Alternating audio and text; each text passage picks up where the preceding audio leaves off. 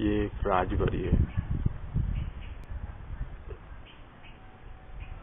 ये राजबरी के पहले एक वर्ड देना भूल गया।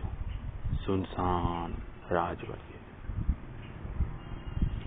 हाँ। एक जमाने में यहाँ पे बहुत ही राजा रानी जमींदार सौ सौ नौकरानियाँ रहता था।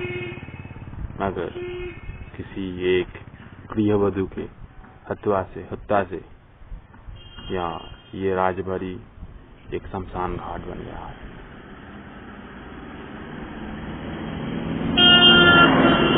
शाम पाँच बजे के बाद यहाँ पर कोई आता जाता नहीं। क्योंकि